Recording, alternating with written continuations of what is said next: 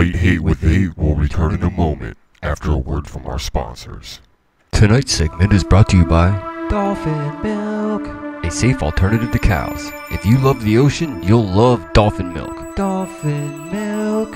And now we return to our unregularly scheduled programming. What do you mean he's not here?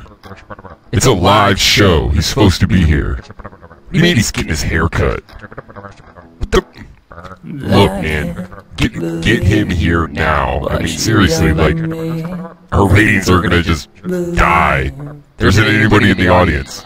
Seriously, you guys? I mean, these rock stars, they just. No, I don't care. Get him here. Seriously?